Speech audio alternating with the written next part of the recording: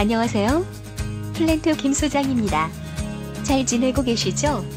이번 시간에는 현장에서 배관 설치 시 플랜지 조인트에 체결되는 스터드 볼트를 사용할 경우 볼트 규격만으로도 필요한 렌치나 혹은 스패너 사이즈를 알 수 있는 간단하고 유용한 방법을 알기 쉽게 설명드려 보려고 합니다.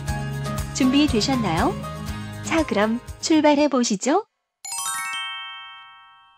우선 정확한 용어부터 짚고 넘어가 보도록 하겠습니다. 현장에서 렌치나 스패너라고 불리는 이렇게 생긴 것들은 볼트를 조여주기 위해서 사이즈별로 자주 사용되고 있는데요. 결론부터 말씀드리면 렌치는 미국에서 사용되는 표준 단어이고 스패너는 영국에서 사용되는 표준 단어입니다. 그래서 두 단어의 의미는 동일합니다. 이번 시간에는 렌치라고 통일해서 말씀드리겠습니다. 이 렌치는 사이즈가 고정식이라서 하나의 tool이 한 가지 사이즈만을 조였다 풀 수 있죠. 이와는 달리 한 가지 tool로 여러 사이즈를 조정해서 사용할 수 있는 렌치도 있는데요. 이것을 adjustable 렌치 혹은 몽키 렌치라고 합니다.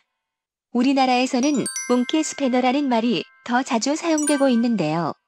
그 어원을 한번 살펴보면 렌치를 발명한 찰스 몽크의 이름에서 유래되었다는 설과 원숭이 아래턱의 움직임과 비슷하다고 해서 몽키 렌치라고 불리기 시작했다는 설이 있습니다. 결론적으로 사이즈 조정이 가능한 adjustable 렌치는 정식 용어로 몽키 렌치라고도 불립니다. 그 중에서도 파이프를 조이거나 풀 때 자주 사용되는 adjustable 렌치를 파이프 렌치라고 부릅니다. 렌치의 규격 및 사이즈는 하단의 사진과 같이 렌치 body 부분에 인치나 밀리미터 단위로 표기되어 있습니다. 볼트 호칭에서 사용되는 알파벳 M은 metric의 약자로서 밀리미터를 의미합니다. 볼트에는 한쪽에 너트가 고정되어 있고 반대쪽에 나사산이 나 있는 machine 볼트와 양쪽 모두에 나사산이 나 있는 스터드 볼트가 있는데요. 두 가지 종류 모두 동일하게 볼트 규격으로 렌치 사이즈를 적용해 보실 수 있습니다. 여기서 여러분들이 많이들 헷갈려 하시는 부분이 이 알파벳 M 호칭이 어디를 의미하는지입니다. 대부분이 이 M 호칭이 그림에서 렌치가 체결되는 길이인 알파벳 S를 의미한다고 잘못 알고 계신데요.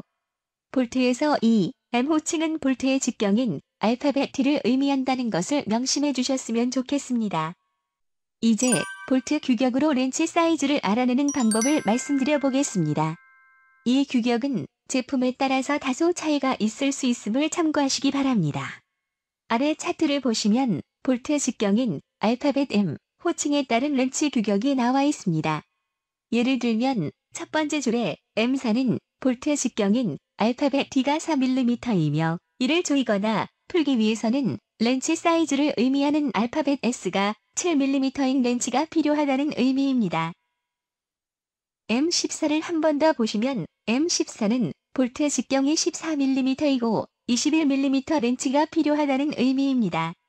해외에서 근무하시는 분들 중 볼트가 인치 규격으로 표시된 볼트를 사용하신다면 인치에 25.4를 곱하면 볼트를 밀리미터 단위로 환산하실 수 있다는 건 다들 알고 계시죠? 네, 그래서 인치 단위로 표기된 볼트들도 쉽게 계산하실 수 있습니다. 이 차트를 다시 보시면 M 호칭과 렌치 사이즈에 일정한 규칙이 있다는 것을 알 수 있는데요. 다시 말씀드리면 일정한 수식이 있습니다. 자 그럼 한번 보실까요?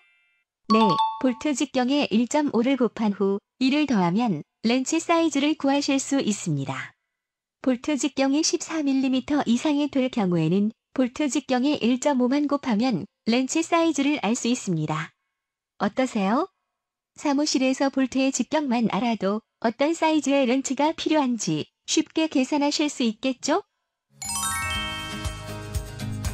어떠셨나요? 현장에서 볼트 직경을 알 때 필요한 렌치 사이즈를 구하는 방법을 알아봤습니다. 공식과 패턴을 잘 알아두셨다가 유용하게 사용하셨으면 좋겠습니다.